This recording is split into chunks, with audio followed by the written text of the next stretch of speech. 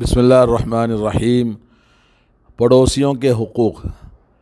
پڑوسی عربی میں جار کہتے ہیں یا جیران کہتے ہیں۔ یہ وہ شخص ہوتا ہے جو رہائش کے اعتبار سے جو سب سے زیادہ قریب ہو۔ نبی علیہ الصلاۃ والسلام نے فرمایا کہ جس کا دروازہ تمہارے دروازے سے قریب ہے، وہ زیادہ قریبی پڑوسی ہے۔ اور جو ہمارے ارد گرد میں رہتے ہیں، جو ہمارے سب پڑوسی کہلاتے ہیں تو یہ پڑوسی اپنے پڑوس میں رہنے والے کی تمام چیزوں کو اچھی طرح سے واقف ہوتے ہیں، اس کے قریب ہونے کی وجہ سے۔ اس لیے نفع اور نقصان اور اچھائی اور برائی سب میں ایک دوسرے کے ساتھ میں بڑے، ایک دوسرے کے شریک ہوتے ہیں۔ اس کے بڑے حقوق اسلام نے بیان کیے ہیں۔ قرآن مجید میں بھی اس کا ذکر موجود ہے، سورہ نسایت نمبر چھتیس۔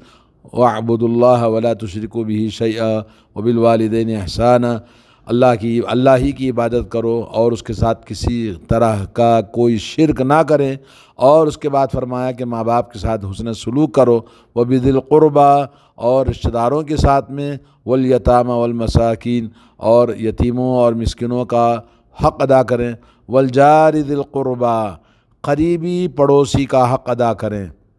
ولجار الجنب ولجار الجنوب وہ پڑوسی جو آپ کے بالکل ساتھ میں ہے، وہ صاحب بالجم، جو بالکل آپ کے ساتھ میں رہتا ہے، آپ کی بیوی ہے اور اسی طرح سے ایک روم میٹ ہے یا ایک ساتھ کام کرنے والے لوگ ہیں، تو یہ تمام ان کے حقوق اللہ نے قرآن مجید میں ارشاد فرمایا ہے۔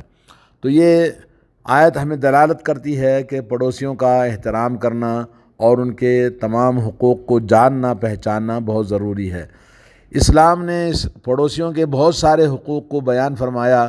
جس کی سختی کے ساتھ میں ہمیں حکم دیا ہے کہ ہم ان کا حق ادا کریں اور جو پڑوسیوں کو نقصان اور اذیت پہنچاتا ہے، ان کے لیے وعید بھی اسلام نے سنائی ہے۔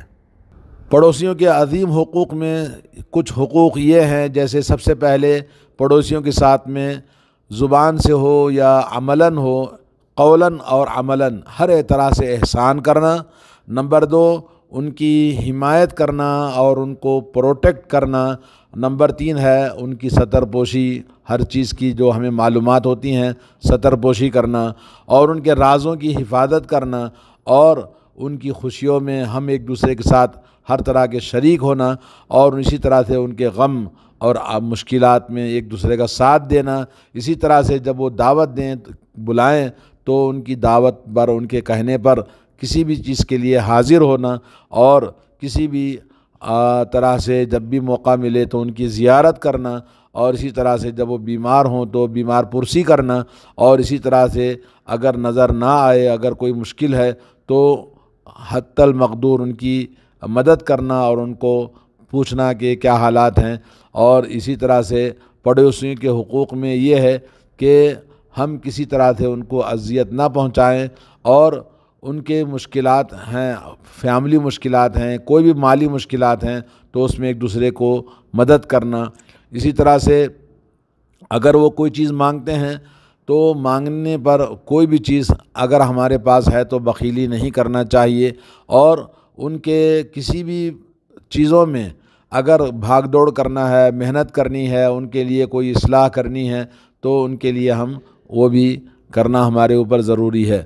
پڑوسیوں کو اذیت پہنچانا، غیبت کرنا اور ان کے کسی بھی معاملے میں ان کے ساتھ نقصان کا پروگرام بنانا، یہ سب حرام ہے اور پڑوسیوں کو دین کی دعوت دینا، توحید کی دعوت دینا اور ان کے کوئی بھی غلط چیزیں ان کے اندر ہیں، ان کے بچوں میں ہیں، تو ان کی ہم اس طرح سے مدد کریں کہ ان کی اصلاح ہو، امر بالمعروف نہیں المنکر، سب کے ساتھ کرنا ہے، پڑوسیوں کے ساتھ بدرج اولا کرنا ہے۔ پڑوسیوں کا حق کا مطلب یہ ہے کہ ان کی کچھ چیزیں ہمارے اوپر پڑوسیوں پر ایک دوسرے پر واجب ہوتی ہیں۔ صحیح بخاری میں ابو رافع مولا رسول اللہ صلی اللہ علیہ وسلم سے حدیث ہے، الجار و حق و بصق بھی یعنی پوری طرح سے پڑوسی کا خیال رکھا جائے، وہ زیادہ حقدار ہے یعنی واجب ہے کہ ہم پڑوسی جو ہمارے ساتھ لگا ہوا ہے، سٹا ہوا ہے، تو اس کے تمام چیزوں کی حفاظت کی جائے، اس کا ہر طرح کا خیال رکھا جائے، یہ ہمارے اوپر واجب ہے۔ پڑوسیوں کے بارے میں نبی کریم صلی اللہ علیہ وسلم نے حضرت عائشہ رضی اللہ تعالیٰ عنہ فرماتے ہیں کہ آپ صلی اللہ علیہ وسلم کا ارشاد ہے مازال یوسین جبریل و بلجاری حتیٰ ذنن تو ان سیورث. صحیح بخاری کے اندر حدیث ہے کہ جبریل علیہ السلاۃ والسلام پڑوسی کے بارے میں برابر مجھے وصیت کرتے رہے، یہاں تک کہ میں سمجھ گیا کہ اللہ تبارک و تعالیٰ پڑوسی کو بھی ہمارا وارث نہ بنا دے۔ یعنی پڑوسی بھی ہماری جائیداد کا وارث نہ ہو جائے، ایسا میں سمجھنے لگا۔ تو اس طرح سے بڑی شدت کے ساتھ میں پڑوسی کا خیال رکھنے اور اس کی ہر طرح سے مدد کرنے کا اسلام نے حکم دیا ہے۔ ایک اور حدیث میں اللہ کے نبی نے فرمایا صلی اللہ علیہ وسلم، واللہ لا یؤمن، واللہ لا یؤمن، واللہ واللہ لا یؤمن کہا، اللہ کی قسم، وہ مومن نہیں ہو سکتا، اللہ کی قسم، وہ مومن نہیں ہو سکتا، اللہ کی قسم، وہ مومن نہیں ہو سکتا۔ لوگوں نے کہا، یا رسول اللہ، کون ہے وہ؟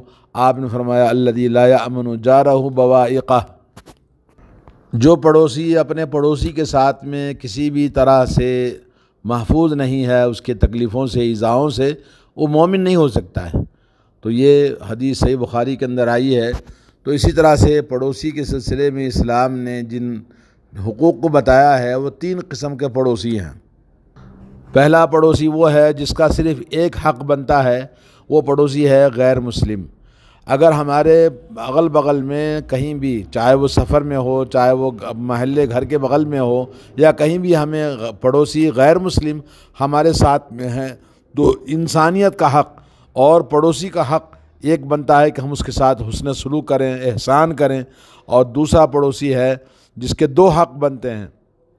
یعنی وہ پڑوسی جو ہمارے بغل میں ہے، اس کا انسانی حق ہے اور دینی حق ہے، اور دوسرا یہ کہ وہ مسلمان ہے۔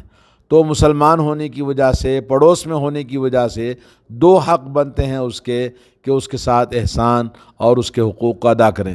اور تیسرا پڑوسی وہ ہے جس کے تین حقوق بنتے ہیں وہ پڑوسی جس کے تین حقوق ہیں، ان میں سے ایک ایک تو مسلمان ہے، دوسرا پڑوس میں رہتا ہے اور تیسرا حق یہ کہ وہ رشتہ دار ہے تو رشتہ داروں کی بڑی تاکید آئی ہے کہ ان کے ساتھ حسن سلوک کرنا، احسان کرنا۔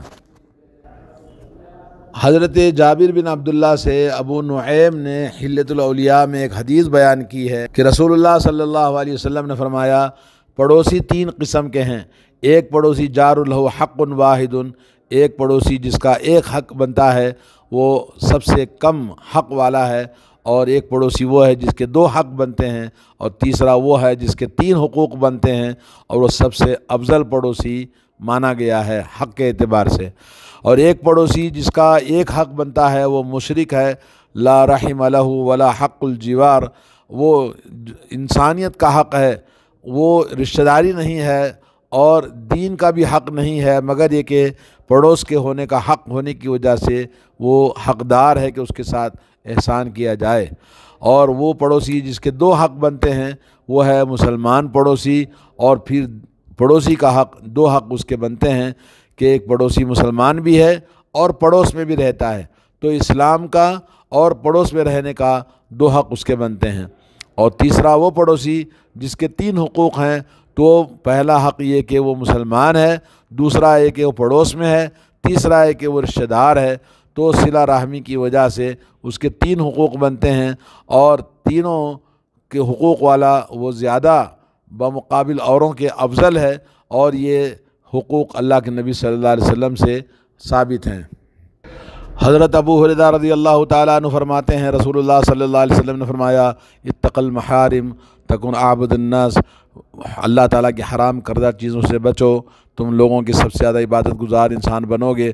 ورضا بما قسم اللہ لکھا اللہ تعالیٰ جو تمہارے لیے تقسیم کیا ہے، اس سے راضی رہو اور لوگوں سے بے نیاز رہو اور اپنے پڑوسیوں کے ساتھ میں حسن سلوک کرو تو مومن ہو جاؤ گے۔ اور اسی طرح سے لوگوں کے لیے وہی محبت کرو جو تو اپنے لیے محبت کرتے ہو، تو صحیح مسلمان بنو گے۔ اور کثرت سے ہنسنا نہ سیکھو۔ کیونکہ کثرت سے، ہنسنے کی وجہ سے دلوں دلوں کے اندر مردگی پیدا ہوتی ہے۔ اور اسی طرح سے اللہ کے نبی صلی اللہ علیہ وسلم نے بڑی تاکید فرمائی ہے، من کان یؤمن باللہ والیوم الاخر فلیکرم جارہ جو آدمی اللہ پر آخرت پر ایمان رکھتا ہے تو اس کے لیے لازم ہے کہ اپنے پڑوسی کی عزت کرے اور اس کا احترام کرے اور اس کی مدد کرے۔ حضرت انس رضی اللہ تعالیٰ عنہ فرماتے ہیں کہ رسول اللہ صلی اللہ علیہ وسلم نے فرمایا، ما آمن بی، وہ مجھ پر ایمان لانے والا نہیں ہوگا جو شخص کے رات میں بالکل سیر ہو کر کھا کے سو جاتا ہے اور اس کا پڑوسی بھوکا سویا ہے اور جانتا ہے کہ وہ بھوکا ہے، اس کے باوجود ان کا، ان کی خبر گیری نہ کرے تو وہ مومن نہیں ہے۔ اور اسلام نے عام طور پر ہمیں حکم دیا ہے کہ تعاو و تعاون البر و تقوا ولا تعاون الاسم العدوان آپ نیکی اور تقوی کے کاموں پر ایک دوسرے کی مدد کرو تو پڑوسی زیادہ حقدار ہے۔ اور اسی طرح سے نبی علیہ السلاۃ والسلام نے فرمایا، لا یمن ان جار ان جا رہو کوئی پڑوسی اپنے پڑوسی کو نہ روکے، اس بات سے کہ اس کی دیوار میں وہ لکڑی ٹھوکے۔ حضرت عبداللہ بن مسعود رضی اللہ تعالیٰ عنہ سے مشہور حدیث ہے کہ میں نے پوچھا رسول اللہ صلی اللہ علیہ وسلم سے، ایو ذنب عند اللہ اکبر؟ اللہ تعالیٰ کے پاس سب سے بڑا گناہ کیا ہے؟ تو آپ نے فرمایا انتجعل للہ ندن وهو خلقک۔ کہ اللہ تعالیٰ کے برابر تم کسی کو شریک ٹھہراؤ جبکہ اس نے تم کو پیدا کیا ہے۔ قل تو ثم ای۔ پھر میں نے کہا، اس کے بعد بڑا گناہ کیا ہے؟ تو آپ نے فرمایا، ان تخت الولد کا خشیت ایت معک۔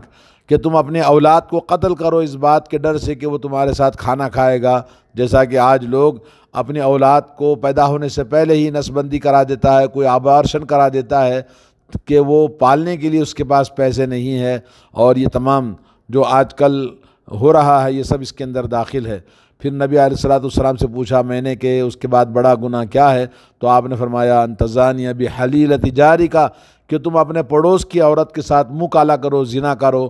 کیونکہ ایک اور حدیث میں اللہ کے نبی صلی اللہ علیہ وسلم نے فرمایا والذین اللہ کہ کوئی آدمی پڑوس کی عورت کے ساتھ زنا کرتا ہے تو اس کا گناہ باہر کی دس عورتوں کے ساتھ زنا کرنے کے برابر اس کو گناہ ملے گا۔ اور نبی علیہ السلاۃ والسلام نے فرمایا کہ جو پڑوسی اپنے تمام شرارتوں سے محفوظ نہیں رہے گا تو وہ شخص جنت میں نہیں جائے گا۔ لا دخل الجنت من لا امن جارہ بوائقہ۔ جو پڑوسی اپنے پڑوسی سے امن اور حفاظت میں نہ ہو تو وہ جنت میں داخل نہیں ہوگا۔ حضرت ابو حردہ رضی اللہ تعالیٰ عنہ فرماتے ہیں کہ نبی علیہ السلاۃ والسلام کے سامنے ذکر کیا گیا، ایسی عورت کا جو کہ نماز پڑھتی ہے، روزہ رکھتی ہے اور اس کے تمام دینی اعمال کے ساتھ، مگر وہ پڑوسیوں کو اپنی زبان سے گالی گلوچ برا بھلا کہتی ہے۔ تو آپ نے فرمایا، ہی فنار وہ جہنم میں جائے گی۔ اور اسی طرح سے ایک عورت کا ذکر کیا گیا، جو کہ نماز اور روزے میں تو کم ہے، مگر وہ ہمیشہ لوگوں کے ساتھ میں بھلائی کرتی ہے۔ اور جیران کے ساتھ پڑوسیوں کو تکلیف نہیں پہنچاتی، اور جانوروں کو، بلیوں کو وہ صدقہ اور خیرات کرتی ہے یعنی ان کو کھلاتی پلاتی ہے، تو آپ نے فرمایا وہ جنت میں ہے اسی طرح ایک اور حدیث میں نبی علیہ السلاۃ والسلام نے پوچھا کہ زنا کے بارے میں کیا کہتے ہو؟ لوگوں نے کہا، اللہ اور اس کے رسول نے اس کو حرام کیا ہے۔ آپ نے فرمایا کہ دس عورتوں کے ساتھ زنا کرنا اس سے زیادہ بڑا گناہ ہے کہ آدمی پڑوسی کے ساتھ زنا کرے۔ اسی طرح سے چوری کرنے کے بارے میں تم کیا کہتے ہو؟ تو لوگوں نے کہا، حرام ہے اللہ اور اس کے رسول نے حرام کیا ہے۔ تو آپ نے فرمایا، اپنے پڑوس میں چوری کرنا، دس گھروں میں چوری کرنے سے بھی زیادہ گناہ ہے۔ اور قیامت کے دن رسول اللہ صلی اللہ علیہ وسلم فرمایا کہ سب سے پہلے قیامت کے دن دو پڑوسیوں کا فیصلہ ہوگا، جنہوں نے ایک دوسرے کے ساتھ زیادتی ہوگی۔ اللہ تعالیٰ ان کا فیصلہ فرمائے گا۔ حضرت ابو ذر رضی اللہ تعالیٰ عنہ فرماتے ہیں کہ نبی کریم صلی اللہ علیہ وسلم نے فرمایا، اے ابو ذر، اذا طبق تمر قطن جب تم سالن بناؤ تو سالن میں تھوڑا سا پانی زیادہ کر دینا اور اپنے پڑوسیوں کا خیال رکھنا۔ اور حضرت ابو ذر فرماتے ہیں، میرے جگری دوست نے مجھے وصیت فرمائی ہے کہ جب میں سالن پکاؤں تو تھوڑا سا پانی زیادہ کر دوں اور اپنے قریبی پڑوسی کا میں خیال رکھوں۔ ایک اور حدیث میں اللہ کے نبی صلی اللہ علیہ وسلم نے فرمایا تاہدو تاہدو یعنی ہدیہ ایک دوسرے کو ہدیہ دینا فعن الحدیت تدہب و حر صدری دلوں کا جو میل کچیل ہے، دلوں کی جو گندگی ہے، حرارت ہے، وہ ہدیہ دینے سے دلوں میں محبتیں پیدا ہوتی ہیں۔ ولا تحقیر نجارہ جارتی کوئی پڑوسی اپنے پڑوسی کو حقیر نہ سمجھے۔ ولو شقی بفرسن اگر وہ وہ حقیر سے حقیر چھوٹی چیز بھی کیوں نہ ہو، تو اس کو ہدیہ دینے کے لیے حقیر نہ سمجھے، پڑوسی کو دیا کرے۔ حضرت عائشہ رضی اللہ تعالیٰ عنہ نے کہا کہ یا رسول اللہ، ان علی جارے نہیں میرے دو پڑوسی ہیں، تو ان میں دونوں سے کس کس کو میں زیادہ پہلے ہدیہ دوں؟ تو آپ نے فرمایا الا اقرب ہما من کی تمہارے گھر کے دروازے سے جو قریبی دروازہ ہے، وہ زیادہ حقدار ہے، بمقابل دور دروازے کے۔ حضرت عبداللہ بن عمر رضی اللہ تعالیٰ عنہ جب بکری ذبح کرتے تو اپنے یہودی پڑوسی کو اس کو بھیجا کرتے تھے۔ اللہ کے نبی صلی اللہ علیہ وسلم فرماتے ہیں، خیر الجیران عند اللہ خیر حملی جاری اللہ تعالیٰ کے نزدیک سب سے بہترین پڑوسی وہ ہے جو اپنے پڑوسیوں کے ساتھ میں اچھا سلوک کرتا ہے۔ اور آپ صلی اللہ علیہ وسلم نے فرمایا، من کان یؤمن باللہ والیوم الاخر فلا یؤذی جارہ۔ جو اللہ اور اللہ کے رسول پر آخرت پر ایمان رکھتا ہے تو وہ اپنے پڑوسی کو تکلیف نہ پہنچائے۔